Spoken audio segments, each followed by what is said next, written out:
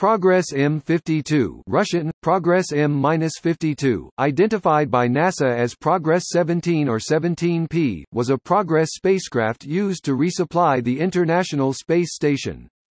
It was a Progress M11F615A55 spacecraft, with the serial number 352. Progress M52 was launched by a Soyuz U carrier rocket from Site 1/5 at the Baikonur Cosmodrome. Launch occurred at 19 hours 9 minutes and 18 seconds Greenwich Mean Time on 28 February 2005.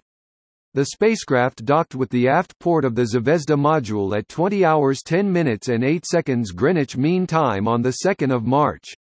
It remained docked for three and a half months before undocking at 20 hours 16 minutes and 10 seconds Greenwich Mean Time on 15 June 2005 to make way for Progress M53. It was deorbited at 23 hours 16 minutes and 0 seconds Greenwich Mean Time on 15 June 2005.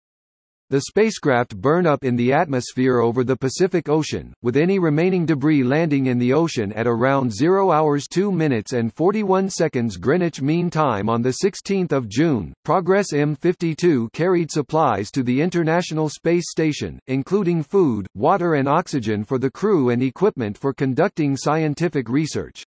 It also carried the TNS-0 nanosatellite, which was deployed from the ISS on 28 March at 8.30 Greenwich Mean Time.